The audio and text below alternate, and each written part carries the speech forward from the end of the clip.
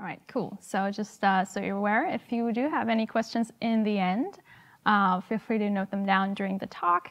Um, we'll have room for questions, and uh, my friend Carrie will hand you a mic. Um, just maybe raise your hand afterwards. And with that, let's kick this thing off. Uh, thank you for um, joining me on this lovely Thursday afternoon on one of the rare days where it doesn't rain in Seattle, so I feel very honored. Thank you so much. Cool. So yeah, um, a little bit about myself real quick. I'm Tina. I'm a technical writer by trade and a nerd since I was born. So I'm here because I care about documentation, just like every single one of uh, the people in this room here. And um, yeah, this talk basically covers some foundational principles of what makes good content. Um, and although I work for Google, um, everything that I'm presenting today is based on my own research, my own findings, so I'm very happy they paid for my travel, but the content is mine. Okay. yeah, let's get started. Um, so yeah, um, first of all, um, you know, we have probably a few engineers in the room here. Maybe hands up. Who's who's an engineer by trade?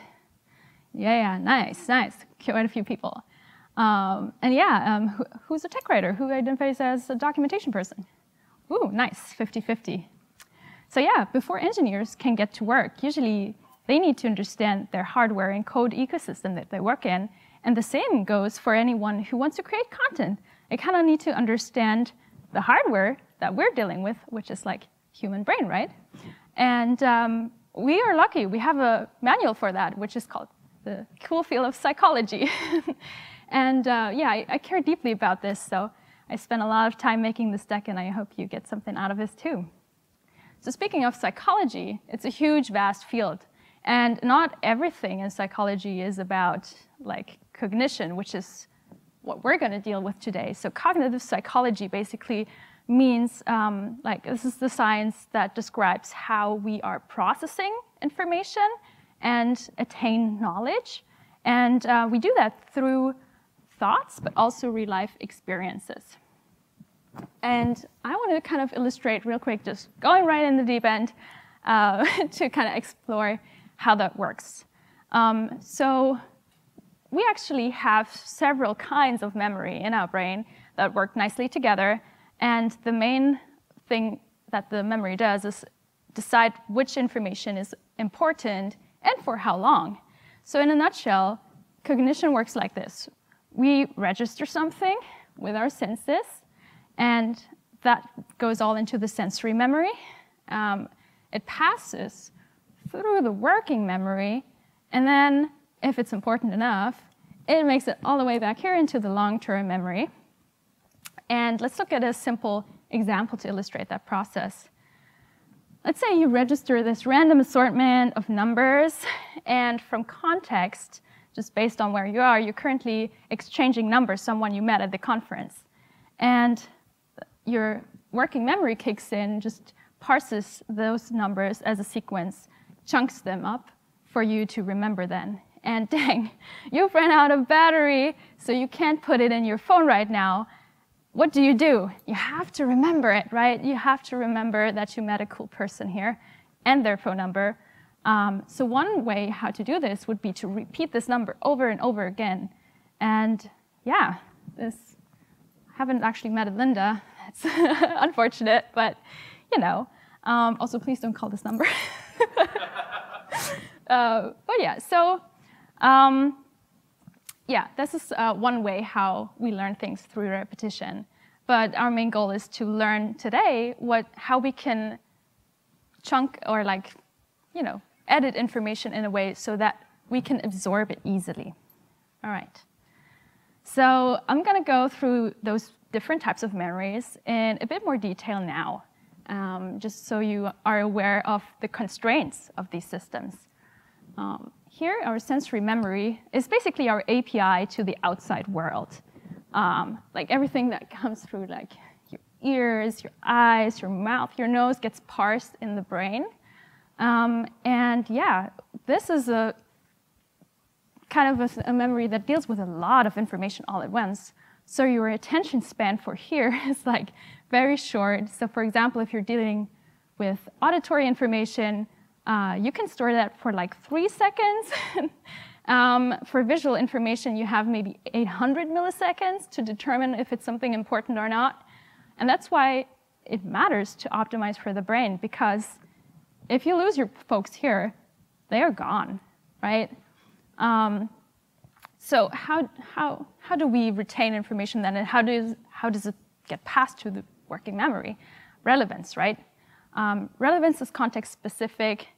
So yeah, going back to kind of that phone um, example here, like if you saw that number like smeared in a bathroom stall, nah, you wouldn't probably go out of your way to remember it.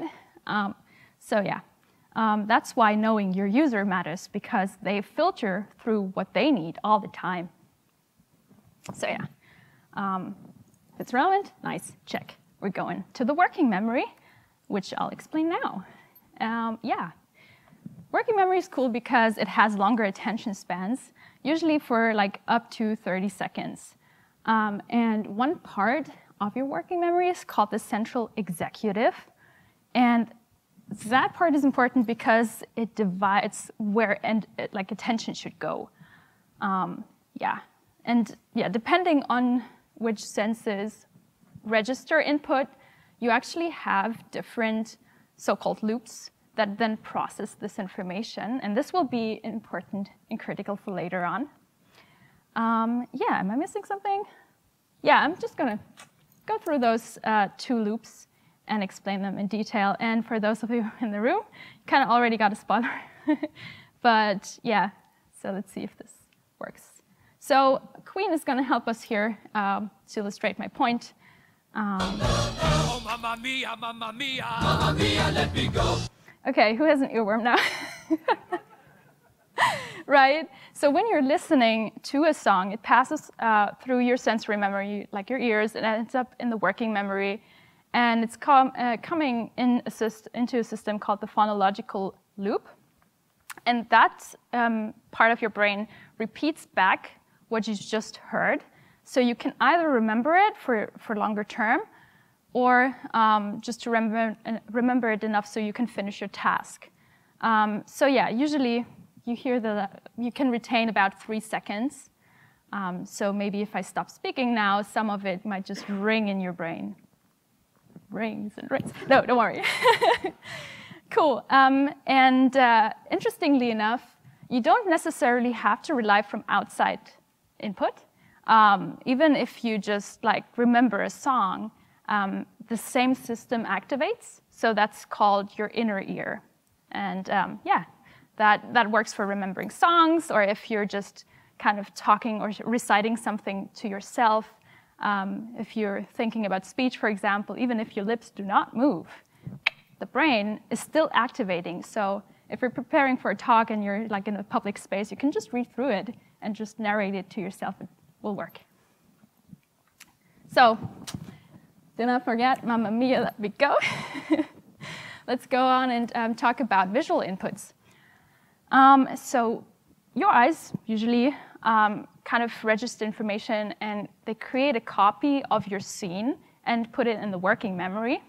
And yeah, scientists have a cool fancy and name for that, the visual spatial sketchpad. So visual for like stuff you see, and then spatial because you also register depth and placement of things. Um, so that loop does both. Um, and yeah, so we process visual cues here and it's very straining to memorize an information, uh, information like that, right? This wedding picture, for example, there's a lot of things going on. Like there's a bride, the groom, all of the guests. There's like confetti or rice, I don't know. Um, so usually what we do to remember this, though, is we make an abstraction, right? So when we are at the wedding, we probably remember the bride and groom being happy and um, sharing a very sweet kiss. And um, I picked this picture. I know it's like very far removed from like technical content, uh, but I picked this picture because um, when you're at a wedding, usually you are in a heightened emotional state. So you're more likely to remember already because it's an emotionally charged um, situation. And your brain more likely is prepared to remember important situations. And let's come back to technical um, documentation and software. How do you think your users feel when they use your software? So you can give me a thumbs up if you feel like they're, oh, they're calm and they're relaxed, or maybe they're just like neutral. Um, but give me a thumbs down if you think they're stressed or frustrated or, you know, like, okay, I see some thumbs down, a lot of thumbs down. um, a middle thumb, okay, cool. I'll, I'll take that maybe as neutral. Um, so that actually, like the emotional state is pretty important because if your users feel like that, if they're stressed, learning gets harder for them because stress is not just a feeling that we have, it's actually a whole process in your body. And when your primal brain goes into fight or flight mode, um, it will snatch away resources that help you think otherwise. It will make sure that your muscles are tense, that you can run fast, that you can deal with the situation. And usually, um, our learning capabilities are greatly reduced when we are stressed. But seeing all of your thumbs now, oh no, like that's how our users feel a lot of times. So in, in that kind of context, like how do we then facilitate information processing? Um, okay, yeah. So just remember, primal brain wants us to survive, can't learn. Um, so let's make content digestible. And I've brought you a real world, world example here from when I had to travel during the pandemic, which was pretty stressful. And every airline kind of had their own rules about how to show up, what kind of mask to wear. And this is a real life screenshot from Lufthansa. Not to like bash them or anything, but this is what they told me about how I should prepare. And I'll give you maybe a few seconds to scan it.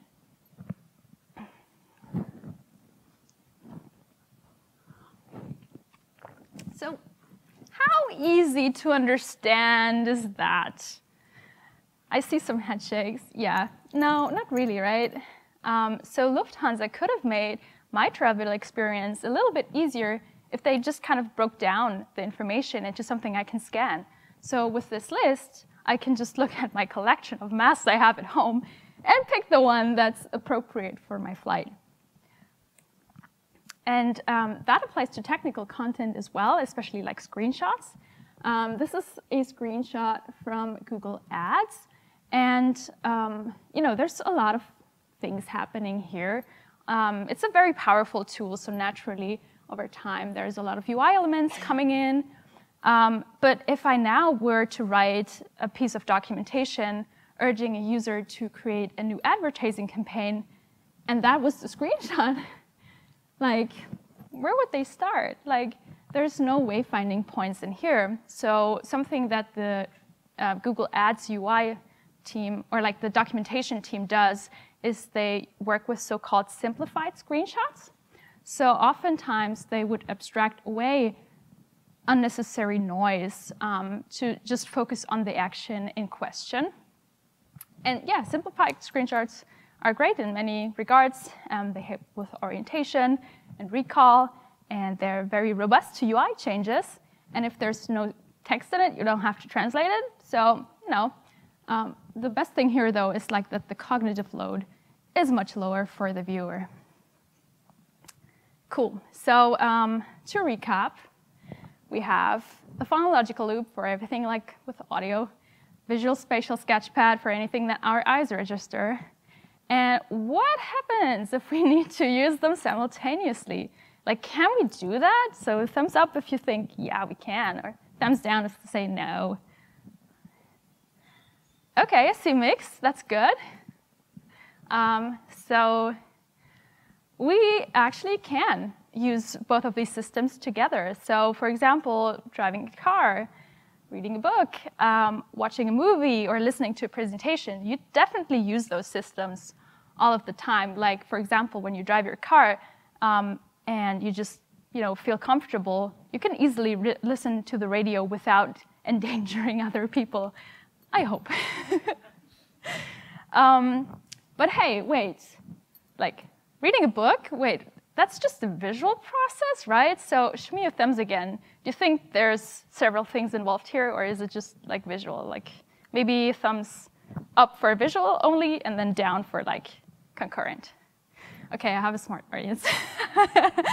yeah, um, you're right. Um, there's several, uh, several different processes involved. And uh, let's check out how we process text, because most of our content is text. Um, yeah, so this is just my description from the talk. And uh, maybe take just a few seconds to read it. You have, don't have to read all of it, but um, that will help with my point. So maybe just like um, go and read.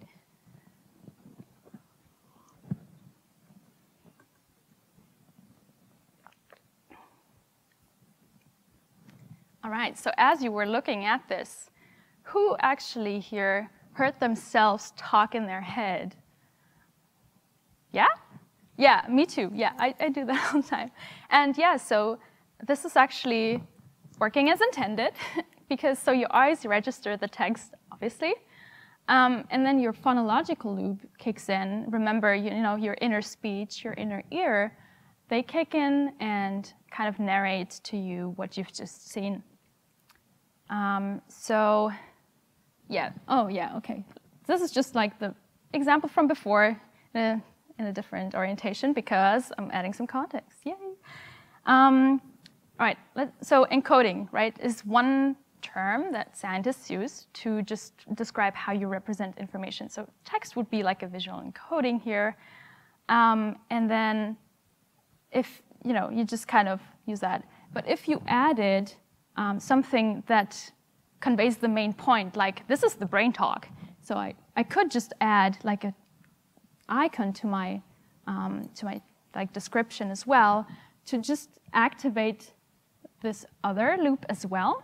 So if I trigger both your phonological loop and the Visual Spatial Sketchpad at the same time, that will usually help with our information retention. Um, because yeah, we can concurrently use them, and we should. So this technique works especially for videos if you make sure that the, the imagery kind of complements the narration, um, and that way you're creating way better screencasts. There is a pitfall, though, in combining, and we're gonna illustrate that with Elsa. So Elsa, the queen of a frozen kingdom, she's an expert in making snowballs and wants y'all to learn how to make a snowball. And she opted for just putting a slide together and then narrating the slide. So I'm just impersonating Elsa. I don't know, I don't do her justice, but so I would be like, pack a snowball with the hands from the bottom of the section and scoop a handful of snow with both hands and pack it together into a round shape. And that's like what she narrates while she has that same text on the slide. We, we see slides like that all the time, right? Um, how do you think, though, um, Oh no, I spoiled. Damn it. So my question for you would be like, how well do you think that works? Um, like if you just put your information and your narration, if they are the same things, do you think that works well? Like maybe yes, maybe no. Okay, yeah, I swallowed it. No, it doesn't work well at all. Um, and that is because we're triggering the same loop. So if you're already listening to someone speak, and then you're also trying to read the same thing, um, your inner narration will clash with what your ears perceive. Um, so, yeah, for example, if you're concentrating on coding, a lot of developers like techno because there's no lyrics in here, um, and that usually works well. But if you listen to a, a very new song and you focus on um, like the lyrics, you might just get way too distracted, and that's what happens. That like happens here as well and I like to call it PowerPoint karaoke. So if you don't take anything away from this talk, maybe make this your one, number one lesson. Don't do PowerPoint karaoke. Don't overload the same systems. Okay, so yeah, instead she could just like um, put a visual in here. Yeah, so I'm just gonna sum this up real quick because we haven't really talked about the long-term memory. So we've covered sensory memory, great will filter out if it's important or not for us to be working with it. Working memory processes things. Um, and then if you've accomplished your task and you don't need that knowledge anymore, things will be tossed, disregarded. But oftentimes, we are in situations where we have to remember things. So getting into the long-term storage is what we'll cover next. All right. But when I say long-term storage, long-term memory, there is, ta-da, yet another collection of systems that work together that make up your long-term memory. And um, so this is an image that I pulled from a paper that I highly recommend. It's linked out here. Um, all of the blue sections here um, are basically system, subsystems of the long-term memory, but we'll only focus like on this mid-sandwich layer in teal. Um, so there's explicit memory and implicit memory. All right, so explicit memory focuses on, that is a type of memory that retains things that you've learned. Um, so for example, if I asked you what's 4 times 5, you would probably just shoot right at me, it's 20, because you've learned your tables in school.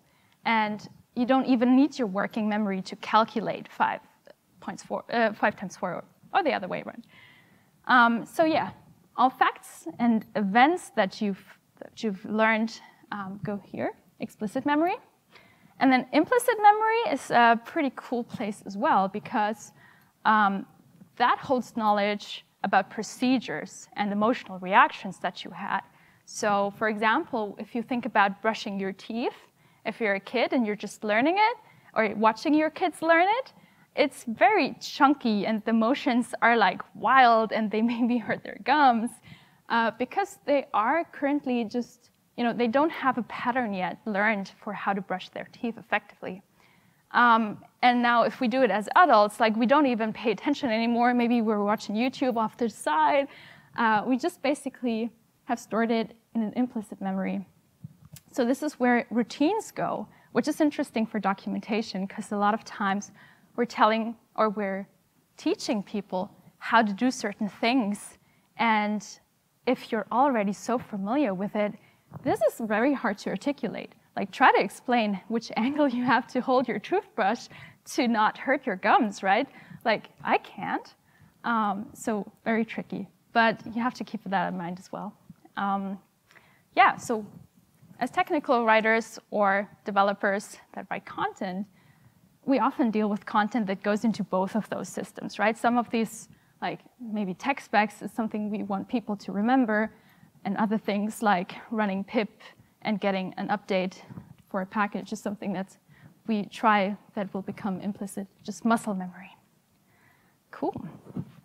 Okay, but how do we kind of bridge that gap? like, there's a, a huge gap on my screen for um, a reason. Um, so between the working memory and the long-term memory is the magical middle of mental models. And those are representations of things we know and they glue together um, like all the facts and beliefs and emotions and behaviors that we have.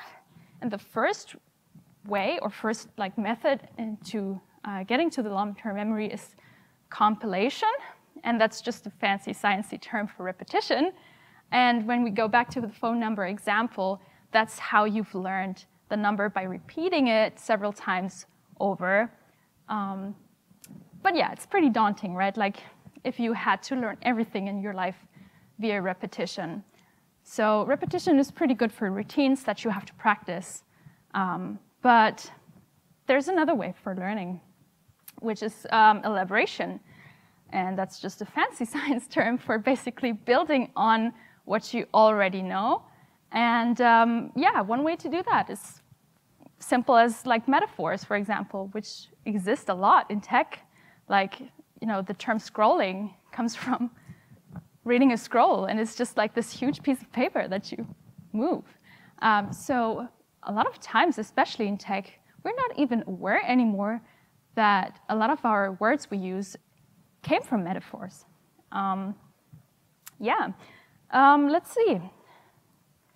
Um, cool, yeah, so hey, just a quick shout out, you made it through the hard sciencey part. now we're actually covering some more um, practical, uh, practical tips and how you can kind of put this all together because that's what you're here for, right?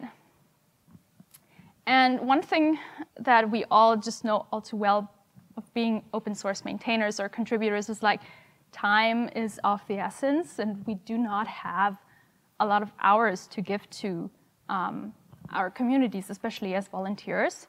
Um, so we have to be careful of where and how we spend our time on.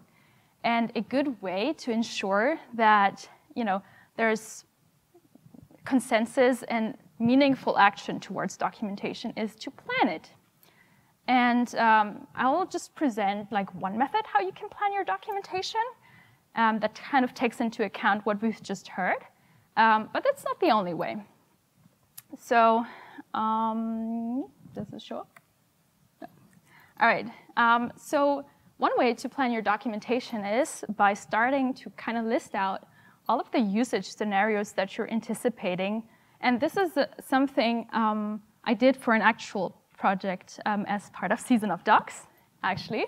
So yeah, Metanorma is a tool which um, lets you create standardization documents, but from the command line.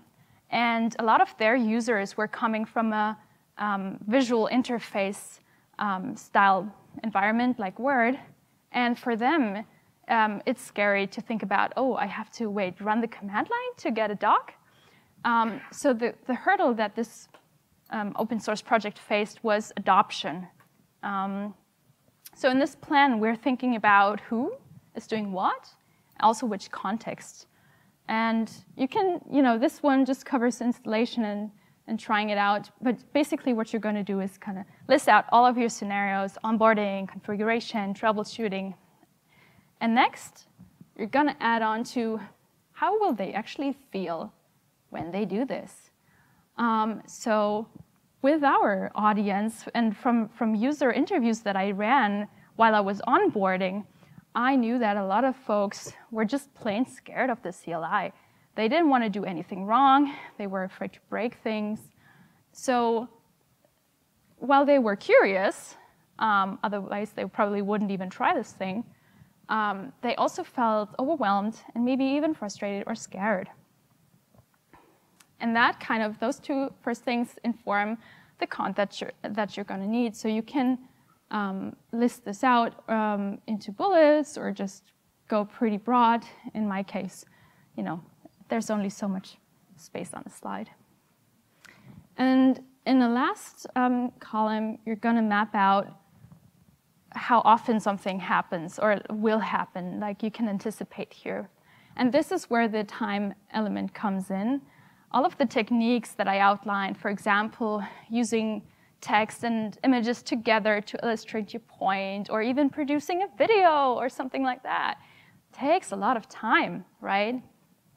So you kind of want to focus on what's important to your project, which barriers are the most pressing, and you know, how likely are they to happen? So this is where you put in all of the love and detail and use all of the techniques that I kind of showed you before um, and then for things like, you know, that aren't as important to your project, maybe because you already have experienced people and they don't need that level of love, you can kind of scale back a little bit.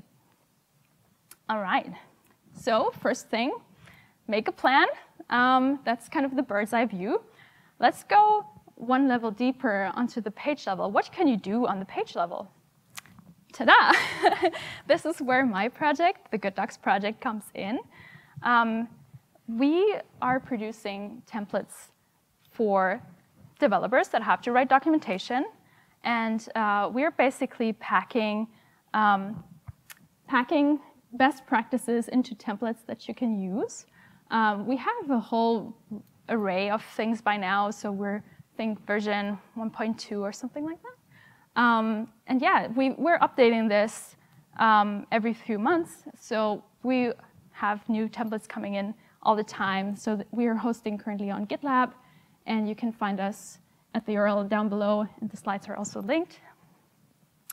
And yeah, basically, we don't, we don't just throw you into the deep end with a template. We're nice people. We also have guides coming with our templates.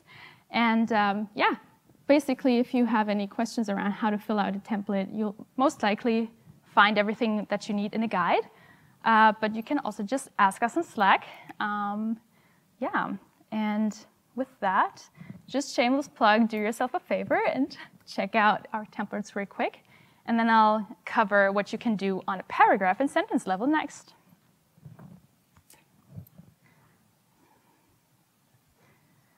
All right. Cool. So yeah, sentence level. Um, for those of you that have been here the whole day, they might have already heard about style guides. Um, but for those that are new to this, um, style guides basically ensure consistency on the paragraph level, on a sentence level, and usually the rules that make it into a style guide, um, they kind of already embody content best practices and are very much in alignment with all of those principles of how cognition works um, even if some of the people maybe aren't aware. But um, yeah, so what you can find in the style guide possibly is advice on how to structure your paragraphs, like only do one idea at a time, or you can find things like um, use a bulleted list, but don't exceed seven list items, because then you're overwhelming people. And this is a style guide that Google maintains, and I'm very happy that they open sourced it. Um, but there's also others, like Microsoft has one open, available, GitLab as well.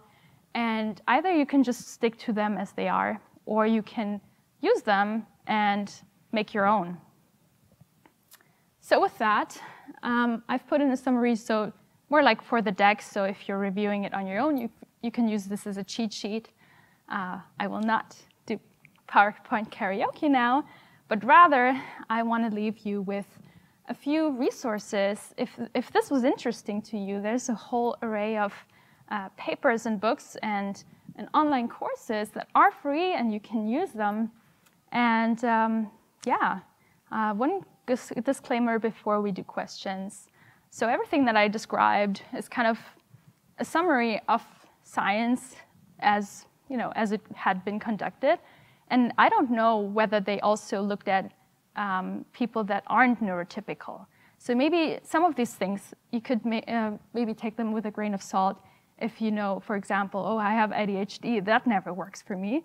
Um, so yeah, if you're an expert on that matter, feel free to approach me. I would like to improve my talk. And um, yeah, shall we do questions? All right. Okay, so I have Carrie over here, so maybe just raise your hand if you have a question, and she'll come to you.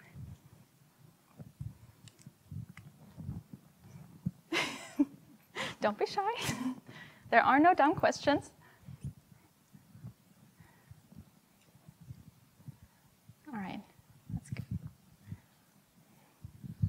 So uh, you mentioned like a few different types of processing. You mentioned audio and visual, mm -hmm. um, but you didn't mention things like like tactile processing or um, like I don't know if even like speaking like it helps me remember if I mm -hmm. talk to others somebody else about it.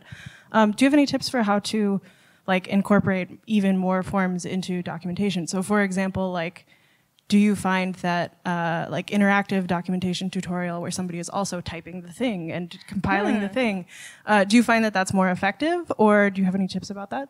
Oh yeah, that's a very good question. Um, so maybe short sidebar here. So you've seen other senses on the slides as well, even the nose, right? So in theory, you could even use your smell for certain types of problems. So for example, I think in, in railway shops when they do maintenance, sometimes if something smells off, they know that they need to go check and um, replace the oil. We're mostly, uh, I, did meet some hardware folks, but most of the folks um, that I work with, they are in software, and usually software doesn't smell. um, okay, someone made a really funny joke, like sometimes it stinks. Yeah, uh, true. So there's only like, we can probably only stick to like um, visual inputs, like haptic to an extent. I mean, you probably won't really remember using your mouse because again, that's something that you've just like a procedure, right? That's not nothing that's new to you. Um, but you are making a good suggestion and um, there are like things like code labs where you mix documentation and run code at the same time. And I think those help tremendously with learning. Um, if you have a setup that allows you to, to, to do that, because it can be tricky to set up. So sometimes I would say there are tooling constraints um, that kind of hold us back from the optimal learning experience. Um, but yeah, nothing in life is optimal. We just kind of work with whatever we have, right? So, but yeah, your, your, your suggestion makes sense, yeah.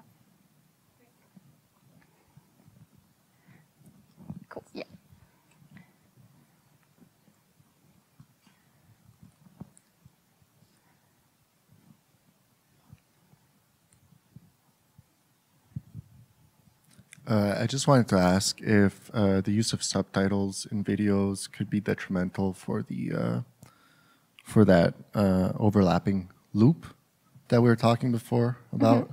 Because I know a lot of people, example, we watch Netflix, for example, and we, and we watch it with subtitles. I'm wondering whether or not that is detrimental because we hear the person speaking and so on. You, yeah, this is interesting. Um, I find that if so, I, I also like to watch content with subtitles, even though if I hear the content, and I find that if the subtitle for whatever reason doesn't match with what you hear, for example, in on animes, right? There's lip syncing, and then some other person writing separately subtitles. Um, then it just bothers me completely. So I think the, the level or, or the intensity of the reading when you watch content is different than when you um, consume documentation. So, or even listen to a presentation, because basically, um, or at least from my own observations, you more like scan um, scan the subtitles to complement for things that you didn't get. Let's say you were munching on like uh, chips or so that are very loud. Um, then you kind of um, use that to supplement your understanding. Um, whereas something that requires focus um, is a kind of different intensity of the reading that you put into. And also, um, another thing that helps with subtitles is they're incredibly short. So it's easier for you to retain that level of information. Uh, in general, though, yeah, in theory, it's not optimal, but kind of depends on your circumstances. I also know of people that um, if they forgot their headphones, they will just turn off their audio altogether and just read. So um, that's not a, you know, subtitles are awesome. Please stick to doing them if you, if you produce videos. Um, and I think most likely your, your user will figure it out. Yeah, any other questions in the room? I think I saw a hand up here.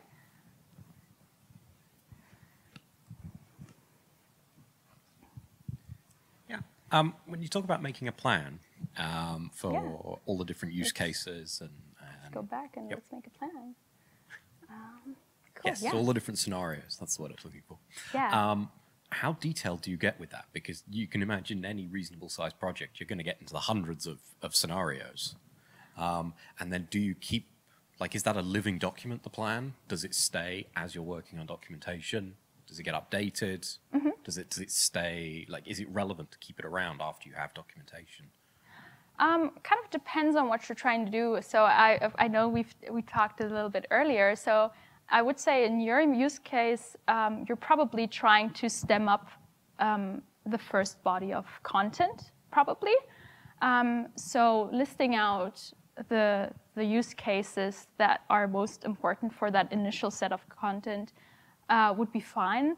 Um, and in theory, you can add more scenarios to that.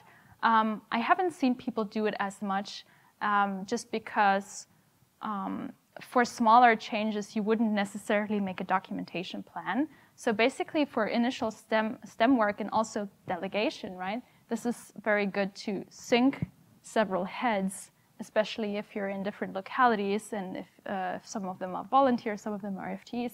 Um, this lets you delegate work really nicely. But once you've published content and you're more of a um, in a maintain um, maintain sorry the maintenance phase, um, usually people don't make the effort to update the documentation and then go back and update the plan.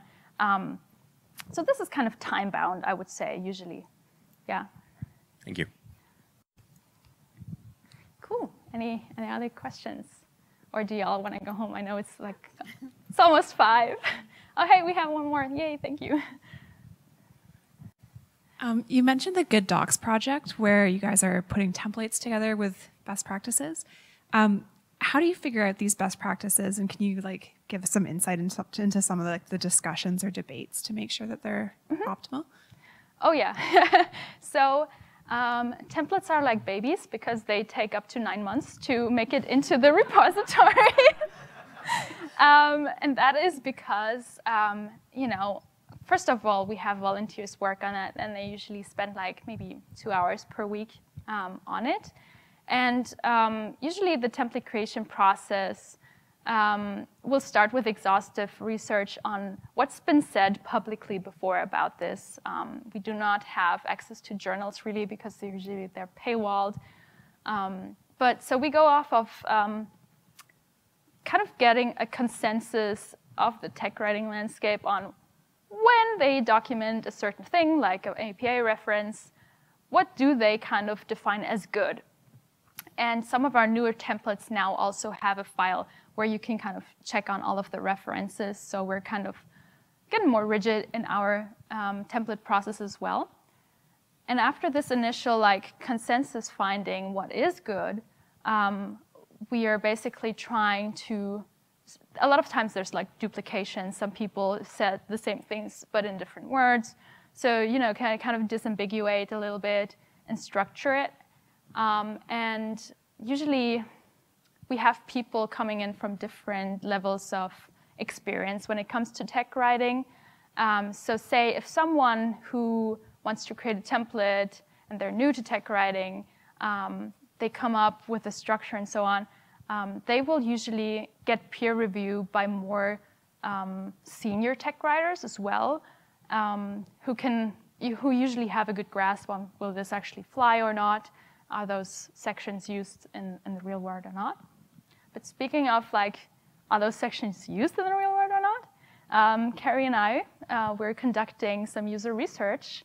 So if you have used one of our templates, feel free to reach out to me uh, to report back on how useful those were, because we continually strive to get better.